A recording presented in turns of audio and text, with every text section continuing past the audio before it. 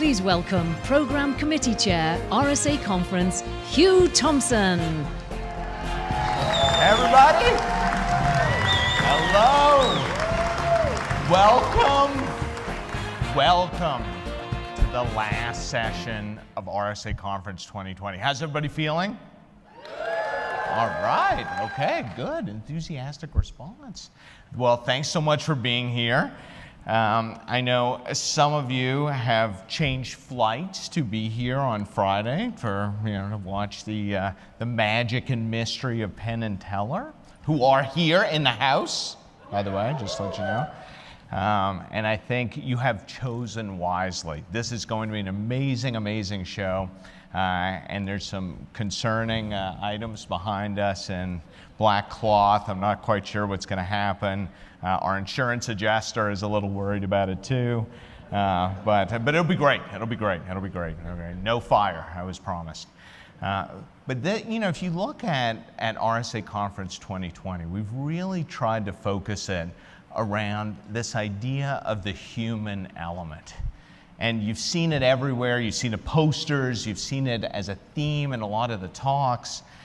And it's one of the greatest unsolved mysteries, I would say, of the security space in a bunch of different ways. One is we need humanity, we need diversity of thought and views and perspectives to be able to deal with the security problem. That's one. And we've had a lot of sessions and workshops focused on that. We also need to understand that our users are very diverse and have certain ways of thinking, and we need to know how they're going to assess risk and look at a problem. But we also need to understand what our limitations are as people. And I'll, I'll, give you an example. You know, somebody a long time ago handed me what was the best selling, I think, self help book of all time. Some of you may have read it How to Win Friends and Influence People. How many people have ever seen this book? I've seen it. Some of you have seen it. Um, and you know, I'm reading this thing, and I'm like, okay, oh, that's really interesting. It was written like 80 years ago or 80 plus years ago. Like, well, a little dated examples, interesting. Okay, that's interesting. And it says things like, you know, always call people by their first name, and you know, give sincere compliments. And I look at this, I'm like, this is a social engineering handbook. Right? This is this is exactly what you should do in a phishing email, for example. And, and you, you look at this stuff, and what's amazing about it is that book is still as relevant today as it was 80 years ago, and it'll probably still be as relevant 80 years from now because there are a set of, call them zero days in people that on the one hand, we love those zero days. On the other hand, they're really, really difficult to fix. And we've all got those, but we've also got some unique ones that are specific to us. And to start off, I'd love to share a uh, personal security story with you uh, related to one of my own. I- would say one of my biggest weaknesses is puzzles. Like if somebody presents or hands me the most complicated, messed up puzzle I've ever seen, I just can't help but get into it, right? 72 hours, no sleep, you know, just I just I just have to get it done. And I I made the tragic mistake of having a conversation 10 years ago uh, with a colleague of mine. I was a professor at the time, and he mentioned to me just really, really casually, like over lunch, hey, have you heard about this extreme couponing thing? Right? And I said, No, no, no, I, I, I haven't. And this is where I went wrong and said, Can you tell me more about that? And how many people here have, have experienced, heard of, or participated in extreme couponing, just out of curiosity? Okay, oh wow, even, a, even an actual yell uh, you know, of endorsement. So, for, uh, for the uninitiated, um, you may be familiar with couponing in general right? Those, you know, those coupons that you see in the newspaper, $3 off a tube of toothpaste type of thing if you bring it into the store. There is a whole cult around this thing called extreme couponing, which is taking that coupon, but then hunting for other places that have other coupons that intersect with that coupon that have unexpected consequences. Like, for example, imagine if you have a coupon that's like, okay, it, the, I'm going to give you 20% off a Listerine bottle, right? Good coupon to have, you know, especially in these times. And then you get another coupon that says $3 off a Listerine bottle. Now, if you combine those two coupons with a special that is currently going on at your favorite drugstore or you know, you know, maybe a food store, you can get the cashier to give you, say, a dollar for taking that Listerine, right? It's like, it's unbelievable, right?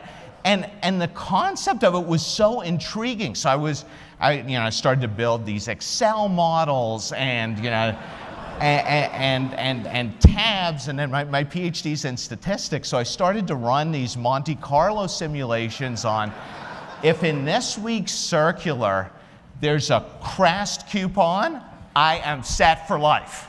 Like the kids are, you know, going to go.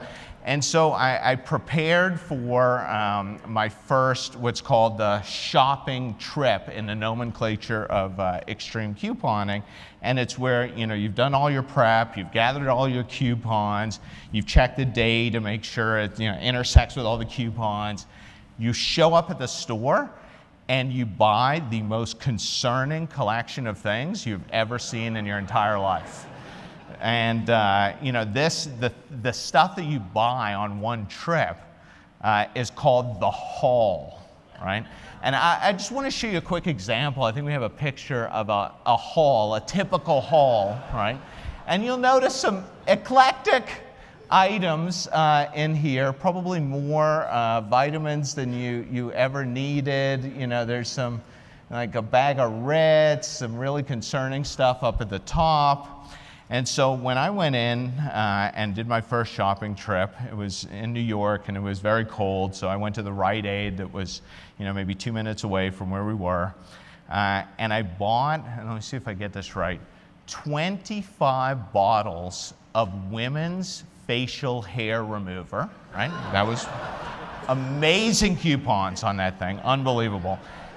75 toothbrushes 150 tubes of toothpaste because it was a combo coupon, which is very rare. If you ever run across that, treasure that coupon. And so I, I end up with all this I had charcoal lighter and you know crazy things. And so I get up to the counter, I pull out this massive stash of coupons. It's color coded, and the expression that the lady at the checkout gave me, I will never forget it. I will, I will really never forget it. So anyway, an hour and a half later, as we kind of like are checked out of this thing, I, I take all this stuff, I take the shopping cart, and they let me borrow it and said, you know, as long as you promise never to come back. And I, I brought the stuff back home. And I was so excited to show this stuff to my wife, right? Because you know I'm the I'm the hunter gatherer, and I've you know gone to the dangerous Rite Aid, and you know come back with all this stuff and I'm laying it all out, and we're in a New York apartment, right? not known for its uh, spacious places to put stuff. And she looks at this stuff, and she's like, "You can never touch a coupon again." and that was. And that, that, that, that was the end of it. And then we, we tried to give those things away, like instead of wine, when we went to people's uh, houses. And, alienated a lot of people along the way. But, but, but the, point of it, the point of it is, you know, if somebody knew that about me, they would use the fact that I'm so compelled to solve a puzzle, they would use that as a way to get me. They would use that as a way to get me to click on something. They would use me to get that eh, to get me to show up at an event. And it's these uniquenesses about us that, on the one hand, are so great, on the other hand, create opportunities for attackers to leverage. And that's what we're going to explore during this final session in a very unique way. So, we've got Penn and Teller here, as I've mentioned, right? Magic, I think, is one of the ultimate manifestations of looking at these kinds of vulnerabilities and leveraging them. Uh, but we've also have some really, really bright people that have been studying this problem for a long time. And my first guest is one of the world's leading experts on the intersection of security and privacy and the human element. Please join me in welcoming Dr. Lorrie Cranor.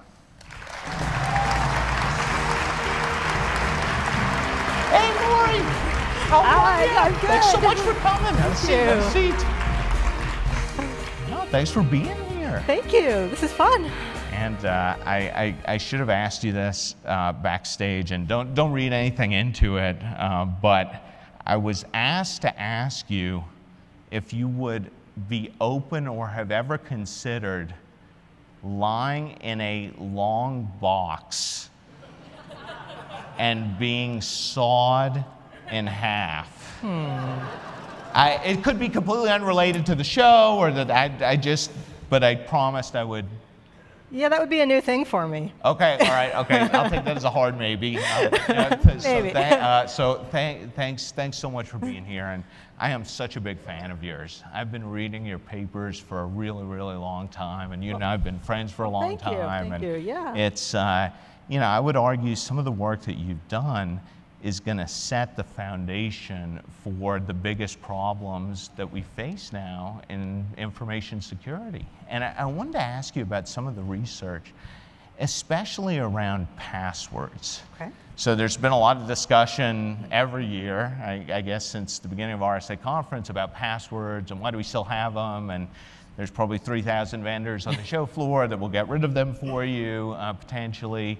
Uh, but you've done a lot of work on how people choose passwords and what is a good or bad password. And I'd wonder if you could share some of that with us and maybe some things that surprised you. Sure, yeah. Uh, I've been working with students and my colleagues at Carnegie Mellon on passwords for about 10 years now.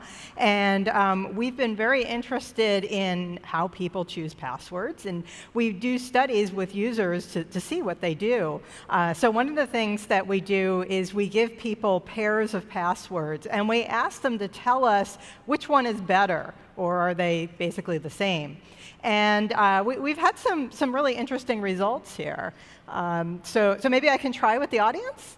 Yeah, go for All it. Go right, for it. all yeah, right, yeah. No, good, this is good. good. You know. All right. Well, well, you, you all are pretty smart. Um, so, so here's a pair of passwords. Uh, so one password is "I love you 88," and the other password is "I eat kale 88." Okay, so they, they both have the same number of lowercase letters and an 88 at the end. So we have to decide which one is better or are they equal. So raise your hands for I love you 88 is better. Okay, nobody's raising their hand. I- no, no, I just no, like Oh, more. I okay. I got like a few. I got a few. like yeah. All right, I eat kale 88 is better. Okay, and they're equal. There are a lot of equals.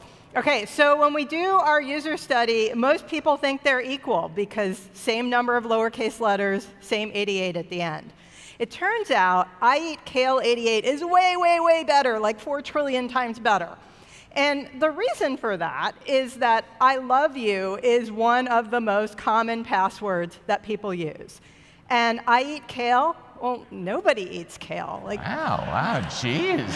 And my kids don't. I eat kale, but my kids do not. And they're like, "Mom, no one eats kale." So, um, yeah, uh, it, it There's surprises a, lot, people. there's a lot of lessons you can take away from this, right? Like, uh, you know, on one, on the one hand, it's a good sign for humanity that many people are choosing the "I love you," uh, you know, yeah. passwords, but uh, it also reinforces what my mom has always said about, you know, hit your vegetables and they're good for you. and, you know, I've never heard it expressed in passwords, but this, you know, that's interesting because it's not intuitive that one would be better than the No. other, just because of, especially the way that current systems judge password strength, right? It tends to be this checklist of, do you have upper and lowercase? Is there a special symbol? You know, and so I, I, I'm curious. Okay, what else? What other ones have Another you tried? one? Give us another chance. Give us another chance. Okay, I'll What give you another chance. What do you got? What do you All got? right, so we've got SpongeBob 01, and Sponge 01 Bob. Okay. Okay, Both, so- both beloved characters. Yeah, mean, yeah, same and same, same letter numbers. yeah. Okay, so raise your hand for SpongeBob 01 is better. Okay, raise your hand for Sponge 01 Bob is better.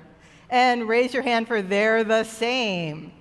All right, so you all actually did pretty well on this one. Sponge 01 Bob is by far better than SpongeBob 01. And this is something that's not obvious to people who are not in the security field. The reason it's better is that most people put their numbers at the end of the password. So just by moving your numbers into the middle, you have a much stronger password. And the same thing goes for punctuation, capital letters, whatever. I can't believe you get to do stuff like this all day. like, guys, which one's better, this one or this one? This one? Well, let, let me ask you, you know, I know you've also done a lot of work on how people make good choices around security, specifically on IoT devices. Right? You've been working on this IoT labeling for a long time. What have you learned from that? Like, is it possible to communicate to the average person through something like a food nutrition label of how safe is a device and do they even care? Yeah, yeah. So we've been designing uh, this IoT security and privacy label, and it, it looks like a, a nutrition label. Uh, and we've been testing it with people to find out whether it actually makes sense uh, to them. And you can, you can check this out on our website. It's iotsecurityprivacy.org. Um, so when we've done studies, we've shown people some of the ingredients on the label, and we've asked them whether they think that this, this particular item on the label makes the product more risky or less risky, and whether they'd be more likely to buy it or less likely to buy it. Uh, and what we've found is that for most of our ingredients, most people, when we ask them about risk, they, they actually are going in the right direction. They, they understand which things increase risk, which things decrease risk. Uh, so this, this is good. Um, but when we ask them whether it would increase their likelihood of purchasing, uh, we see that for some things, when risk is decreased, they are more likely to purchase, which is good. Um, but sometimes we don't see that. And one of the reasons we don't see that is people will say, well, I know it decreases risk, but it seems awfully inconvenient. Uh, so, for example, if we say uh, this smart speaker has multi factor authentication, they say, great, it decreases risk, but that's inconvenient, I won't buy it. Wow, interesting. Yeah. Right. So, and how does it vary based on the type of thing? Like I can imagine a smart speaker, although I would say that that's not a not a good choice. But is it different if it's a chainsaw versus it's, you know it's like the internet-enabled chainsaw versus it's some innocuous you know thing like that? They? it does make a difference. We, we have not tested good. That's the least chainsaws, thing. but, well, there there is a market. We- is a maybe we should. Yeah, we, we did we There's did try smart smart toothbrushes, smart light bulbs, and uh, definitely like smart light bulbs raise fewer concerns for people than smart speakers, for example. And just, that- I mean, again, just out of curiosity, what would be the key things people are worried about on a smart toothbrush?